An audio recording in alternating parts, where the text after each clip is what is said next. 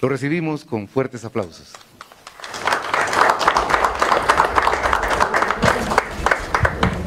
Muchísimas gracias. Muy buenas tardes. En primer lugar, muchísimas gracias, profesor Hugo. Gracias por, por las, sus palabras. El compromiso con la educación es un compromiso real.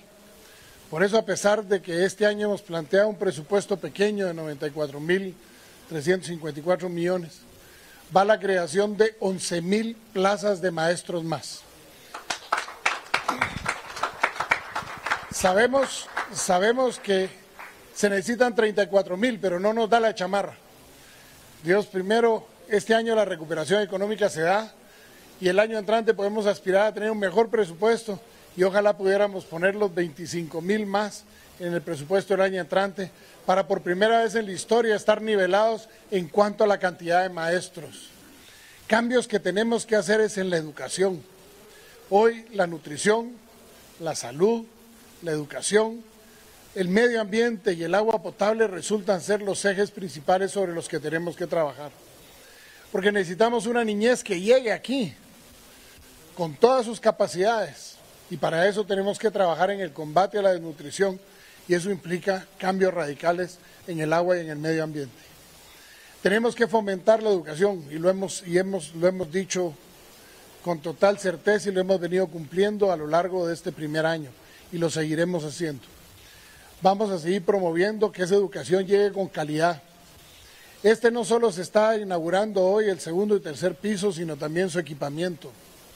Y esperamos en Dios algún día, profe, poderle decir a los graduandos, ¿cuántos son los graduandos aquí? Porque sé que son 513 alumnos, pero ¿cuántos, cuántos se gradúan promedio al año?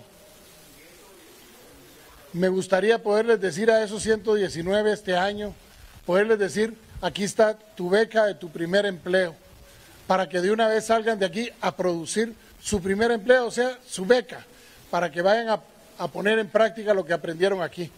Es un programa que lo podemos desarrollar, lo tenemos en el gobierno, ya va siendo hora que lo empatemos con los estudiantes que se gradúan como una manera de premiar a los mejores estudiantes para que puedan tener a través de una beca ese primer empleo que les garantice que lo que aprendieron en las aulas sobre todo en las carreras técnicas, lo puedan ir a poner en práctica. Hoy es el momento de hacer esos cambios. Por eso para mí celebro haber venido hoy a este segundo día en donde inauguro una escuela o un instituto. El día de ayer me tocó en Jutiapa, en Comapa, el primer instituto tecnológico de párvulos que hay en todo el oriente del país. Y, perdón, en Acatempa, Jutiapa y vamos a seguir trabajando en hacer que efectivamente podamos, podamos seguir creciendo en los niveles educativos. Y esa reforma educativa, a través de ese compromiso del Magisterio Nacional y de la voluntad firme de este gobierno, en principiar a traducir en hechos concretos la posibilidad de esa reforma educativa que tanto hemos soñado y que tan necesaria es. Por eso agradezco sinceramente la participación del, del CODE de Huehuetenango y sobre todo de la sociedad civil que con su aporte hacen posible esta realidad y esperamos que este año los 180 millones de quetzales que se van a invertir en consejos de desarrollo aquí en Huehuetenango vayan en primer lugar a la educación, al agua, a la salud y podamos tener de esa forma transformación en nuestra niñez guatemalteca. 180 millones que venimos hoy a hablar con los alcaldes de cómo los vamos a invertir, de cómo tenemos que invertirlos, de cuál va a ser los procedimientos en la reunión que vamos a tener a continuación con los alcaldes de todo el departamento, tal y como lo acabamos de hacer ahorita en San Marcos, en donde privilegiamos entre las obras la educación.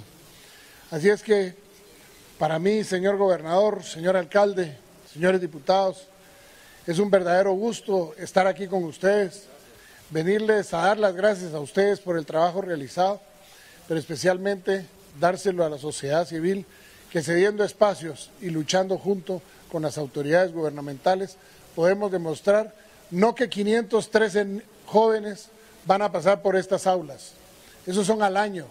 Estas son aulas en las cuales en los próximos 20 años van a pasar miles de jóvenes.